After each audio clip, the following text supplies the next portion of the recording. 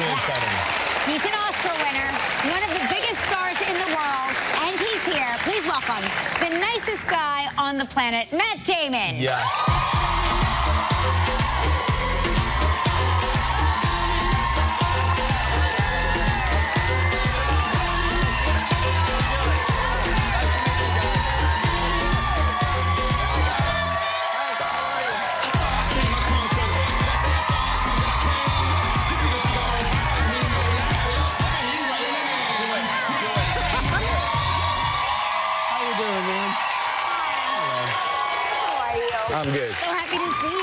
See you guys. Um, hey, everybody. You are, you are, and I and I'm going to say this honestly. You are the best liked guy in show business. What is the secret to that? Because you were a monster backstage. Yeah. yeah, I think that's a pretty low bar. uh, no, I don't know. I, I think I don't know. I, I think ever since I got famous, I got too much credit for everything. Really? So, yeah, I, I don't. I think I'm pretty normal. Um, I really do. I mean, in terms of like, you know, the way I'm. I don't think I'm any nicer than Jerry.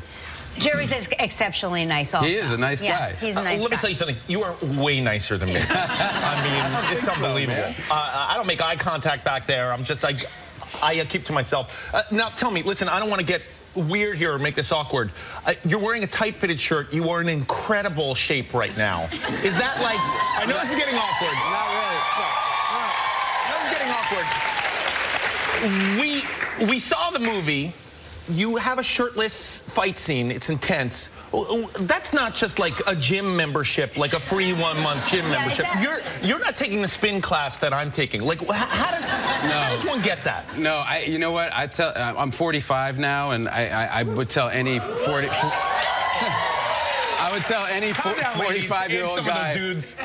So all the guys out there who are wondering, I, I will tell you right now, it's not worth it at all. It's not worth it's, it. It's no, it's too much work. It's like a full-time job um, at our age to do that. Main- Like- you mean maintaining your body? yeah, I mean it's just a it's just a lot of work and, and dieting too. And I and I love to eat and you know and I love going to eat with my wife and like I you know and you can't eat anything.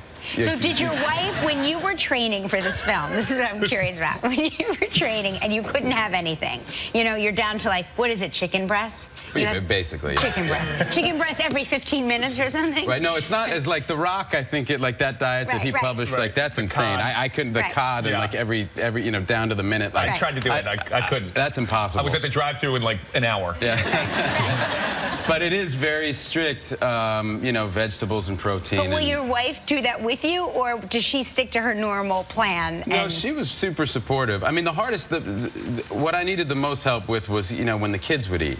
Because, you know, when you're, when you're cutting their food or you're planning or you're Right. getting that, you know, preparing that, it's like, that's brutal.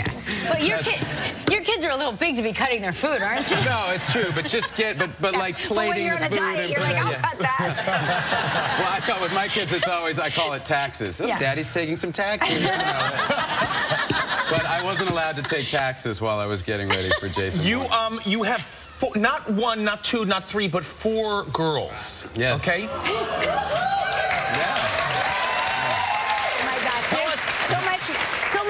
Estrogen in the house. There's a lot. Yeah. I- Is there a male pet? Is there like i- i- i- is there? Well, I, I put my foot down uh, when, when we got a dog, and, and the first dog we got was a male dog. Yeah, and, good and now for and now we rescued a couple more dogs, and they're female dogs. So Right. there's even more estrogen in them. Oh my God. so it's it's six against two, I think. Yeah, it's it's um, we're way outnumbered. But you're, a gu- I think, you you know, it's so funny. I, I always talk about this at, at Jimmy Kimmel's wedding, the big talk the next day at, after the uh, pre, prenuptial dinner, you know, the night before dinner.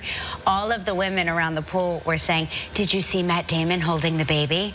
And it was the conversation of the pool was Matt Damon holding the baby is probably like something all people should witness before they die because it's just the most nurturing But that was lovely- totally selfish because that wasn't our baby. I know That- it wasn't your was- baby. yeah. I know. I know. But but it was one of those things where we were there and and our friends had this newborn and and we'd had our la- you know we're we're not having any more kids and we were never going to have a baby that small Yeah. again and so once I started holding the baby I couldn't give I couldn't give him I up. know. That's his that's his nice guy trick. He travels to weddings and babies. We know your we know your routine. It's a music commercial break. When we come back, we're going to find out why Matt almost got banned from his beloved Las Vegas. Stick around. Everyone cheers. I'm getting pummeled in that scene. I love Matt during that clip. Matt starts voiceovering his own movie. He goes, "Time for some karate." Let me tell you something. I have never felt so safe on the show in my life, sitting right next here to Matt. If somebody comes in, I can challenge them to a fake movie fight. I have a question for you. How quickly could you choke Gelman out? These are jokes, everyone. These are jokes. No, only I, one I- look. yeah, no, no. We, we would have to it, it- only if it were a movie. Yeah, Yeah. I, I, this is completely non-translatable skill. You, you mentioned that you're 45 years old, and this is, is this true, your 57th movie? I guess so. Is yeah. that really true? Yeah. And, yeah. No, I Do you believe me. ever, do you ever make, do you, have you made a bad movie? I've never seen you in a bad movie where I've gone, well, that Matt Damon film was a waste of time. I try to I try to sweep those under the rug as quickly as I can. Um, no, I, but you know the only reason we get to do this job is because people go to the movies, and and so I'm I'm really grateful, uh, really grateful. I mean, to do this movie, like you know, to be back on the set with all these people that I've made these other movies with, and I love and I trust, and you know, it's just it's a it's a privilege. So so I mean, it's because of you guys. we heard, we heard, um, It's true. It's true. If you guys stopped going to, like, if you picked an actor and just all decided to stop going to their movies, you would not, like, that actor would just be done. Like, really. Yeah, that's that's what happened to me. basically, Jokes. These are jokes. These are By the way, Jerry, I'm really sorry I started that boycott. I mean, I just, I just, I heard footsteps. I was getting nervous. Oh, wait, I heard that you were almost banned from Las Vegas. Why were you almost banned from Las Vegas? I didn't think that was possible. Well, I mean, did you see what we did to Las Vegas I mean, no. in this movie? but I You, mean, you, you blew up. I mean, I'm guessing close to 200 cars on the strip. It was. They right? told me at the end it was 170 cars Wow. that we, so that we told them. wait, that's not CGI. Those are real. No, really... no, no, that's all real. No yeah. kidding. insurance. Yeah. Oh yeah, but we, well, th- you know, to shoot, like, when they said they were going to shoot on the Las Vegas Strip, I was like, you guys don't, there's no way they're going to let us. I mean, in front of the Bellagio, like, we shot the end of Ocean's 11 there. Like, Yeah. it's this iconic spot, and, like, they don't, that was on the sidewalk. Like, Right, we- right. we're not. And uh, but the city was great, and they really wanted it to happen, and the film office and everybody got together, and they were they were they they made it happen. So once we knew that we had that iconic location, we we realized we had to like really go big. Yeah. Oh, that's great. Oh, that's so exciting. Don't forget to check out Matt Damon as Jason Bourne opens tomorrow night. Jason Bourne. Thanks for being here. It's great to see you. He has quickly become one of Hollywood's most sought-after actors. Now he stars in the new film Suicide Squad. Please welcome Jai Courtney.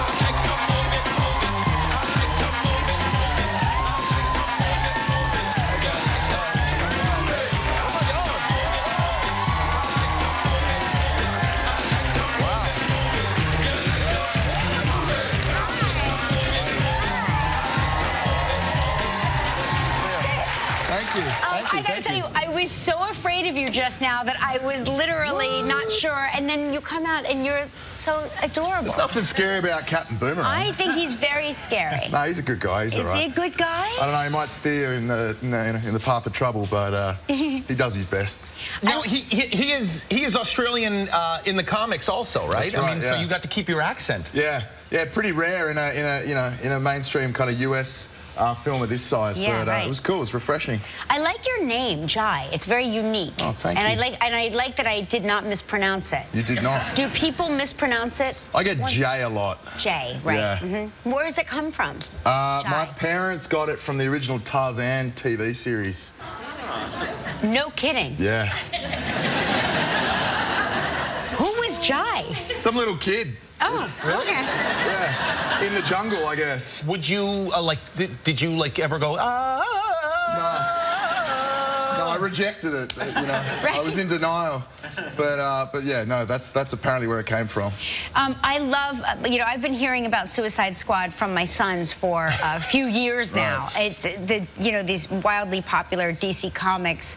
Um, did you know about the, this group of uh, characters? Not at all. No, right. I had no, I had no knowledge whatsoever. yeah.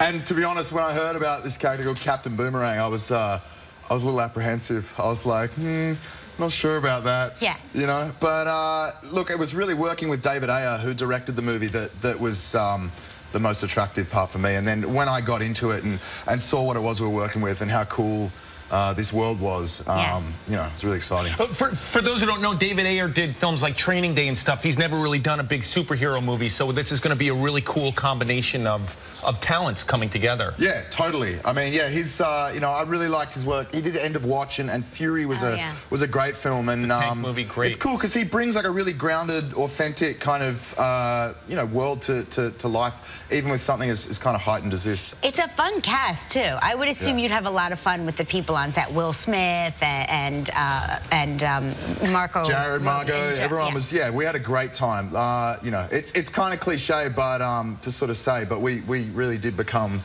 you know, a bit of a squad ourselves. Yeah, it's and- good. I saw that you had your squad tattoo. I You have my all, squad did you tattoo. all get those? Yeah, we've all got them. So cool. Yeah. Show us this. It's uh. Let's get a shot of this. Yeah. This is crazy. Margot Robbie had a tattoo gun, and um, What do you mean she had a tattoo gun? I mean, she had a tattoo gun. Margot Robbie, the star, hold on a second. Margot Robbie, the star of Suicide Squad, gave you that tattoo. she just started inking, uh, inking people. And, Is uh, Margot Robbie licensed to do that?